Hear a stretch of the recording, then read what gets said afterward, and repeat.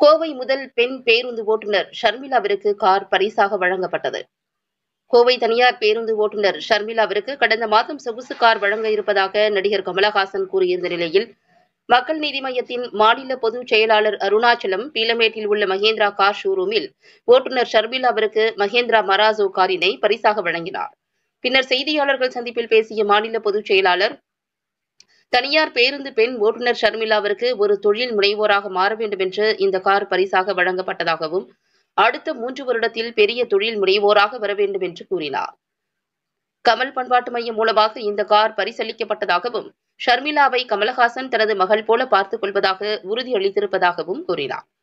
திறமை மிக்கவர்களை கண்டுபிடித்து தேர்ந்தெடுத்து கமல் பண்பாட்டு மையம் மற்றும் மக்கள் நீதி மையம் சார்பாக ஸ்கில் டெவலப்மெண்ட் சென்டர் தமிழ்நாட்டில் வருவதாக கூறினார். இரண்டாயிரத்து இருபத்தி நான்கு மற்றும் இரண்டாயிரத்து இருபத்தி ஆறு தேர்தலுக்கு மக்கள் நீதி மய்யம் கட்சியினை கட்டமைத்துக் கொண்டிருப்பதாகவும் இருநூற்று முப்பத்தி நான்கு தொகுதிகளுக்கு செயலாளர்கள் நியமித்து தொகுதியை கண்காணிக்க இருப்பதாக கூறினார். தொடர்ந்து செய்தியாளர்களுக்கு பேட்டியளித்த பெண் ஓட்டுநர் ஷர்மிளா தற்போது இந்த காருக்கு தான் ஓட்டுநர் மட்டுமே இன்னும் பல முயற்சிகளை எடுத்து வெற்றி பெற்ற பின்னர் தான் முதலாளியாக மாறுவேன் என்று கூறினார். கமலஹாசன் தனக்கு அப்பா போல் உதவி செய்துள்ளார் என்றும் தொழிலில் வெற்றி பெற்று அடுத்த காரின் சாவியை நடிகர் கமலஹாசன் கையில் தான் வாங்குவேன் என்றும் ஷர்மிளா உறுதியளித்தார். அனைவருக்கும் வணக்கம். கடந்த சில மாதங்களுக்கு முன்னாடி நம்ம சகோதரி ஷர்மிளா அவங்களுக்கு ஒரு சூழல் பணியாளராக பணியாற்றும் போது ஏற்பட்ட சூழல்கள் பத்திரிகையில் வந்ததை வாயில் பார்த்துட்டு தலைவர் இப்படி ஒரு தன்னம்பிக்கை மிக்க ஒரு சகோதரியை ஒரு தொழில் முனைவோராக மாற்ற வேண்டும். அவங்கள அன்னைக்கு ஏற்பட்ட சூழல்ல இருந்து அவங்கள இது பண்ணி அவங்கள முன்னுதாரணமாக நிறைய பேர் தமிழ்நாட்டில் எடுத்திருந்தாங்க. அவங்க பேருந்து ஓட்டுவதை பார்க்கும் பொழுது. அப்போது அவ்வளோ பேருக்கும் ஒரு தன்னம்பிக்கை ஊட்டக்கூடியவங்களாக இவங்க அமைஞ்சிருந்தாங்க.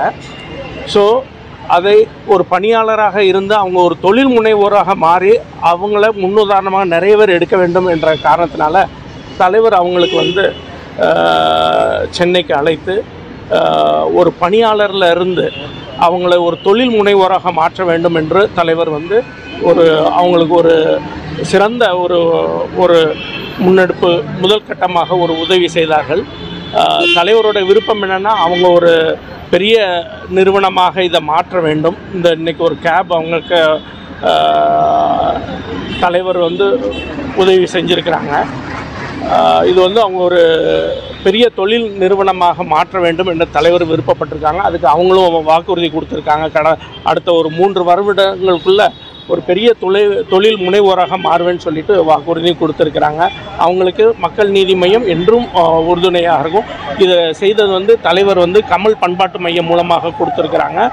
தலைவர் என்றைக்கும் அவங்களுக்கு தன் மகளாக நின்று கூட அவங்களுக்கு உறுதுணையாக இருப்பேன்னு சொல்லியிருக்கிறாங்க. ரொம்ப- ரொம்ப மிக்க மகிழ்ச்சி. இதே மாதிரி நிறைய பெண்கள் வந்து தன்னிடம் திறமையை வச்சுக்கிட்டு அவங்களுக்கு வாய்ப்பு இல்லாமல் நிறைய பேர் அது அவங்களுக்கு எல்லாம் அடையாளம் காணப்பட்டு இப்போ அவங்களுக்கு அடுத்தடுத்த கட்டமாக ஸ்கில் டெவலப்மெண்ட் இது சென்டர்லாம் நிறைய தலைவர் கமல் பண்பாட்டு மையம் மூலமாகவும் மக்கள் நீதி மையம் மூலமாகவும் ஸ்கில் டெவலப்மெண்ட் சென்டர் நிறைய உருவாக்க இருக்கிறாங்க. அவங்களுக்கு திறமை இருப்பவர்களுக்கு தகுதியான ஒரு வேலைவாய்ப்பு அமைத்து கொடுப்பதும் அவங்களுக்கு நிறுவனங்களுக்கு எப்படி வழிகாட்டுதலாக அமைய முடியும் என்பதற்காக ஒரு ஸ்கில் டெவலப்மெண்ட் சென்டரை அவங்களுக்கு ஆரம்பிக்க இருக்கிறாங்க. ஸ்கில் இருந்து இன்னைக்கு வந்து ஓனர் ஆகிட்டார் அப்படின்னு நீங்கள் தான் சொல்கிறீங்க என்னை பொறுத்தளவுக்கு அப்படி கிடையாது. ஸோ வந்து நான் இதையும் ஒரு டிரைவராக அப்படியே இருந்து தான் பண்ணணும்னு நான் நினைக்கிறேன். அது அதுக்கு அடுத்த வண்டியெல்லாம் அப்போ தான் நான் அச்சீவ் பண்ண முடியும். ஏன்னா வந்து அவர் எனக்கு ஒரு அப்பா ஸ்டேஜில் வந்து கிஃப்ட் பண்ணியிருக்காரு. ஸோ என்னதான் இருந்தாலும் அது அவரோடது. நான் கஷ்டப்பட்டு அடுத்த ஒரு வண்டி வாங்குற பார்த்தீங்களா அப்போ தான் நான் அந்த ஓனர் அப்படின்னு நான் ஃபீல் பண்ணுவேன். ஸோ வந்து இப்போ ஒரு டிரைவராக தான் இருக்கேன் நான் ஓனர் கிடையாது. ரொம்ப ப்ரௌடாக இருக்குது பட் ஒன்றே ஒன்று என்னென்னா கமல் சார் இல்லை அவ்வளோதான் ஏன்னா எல்லா இடத்துலையும் அவர் இருந்தார் அப்போ கூப்பிட்டாரு பார்த்துக்கிட்டாரு சாவி கொடுக்கும்போது எல்லாத்துலேயும் இருந்தார். இன்றைக்கி டெலிவரி எடுக்கும்போது அவர் வர முடியல. அந்த காரணத்தினால அங்கிள் எல்லாத்தையும் அனுப்பி விட்டுருக்காங்க. ஸோ இவங்களை வச்சு எடுத்துக்கோங்கன்னு சொல்லி அடுத்த மூன்று வருடத்தில் வந்து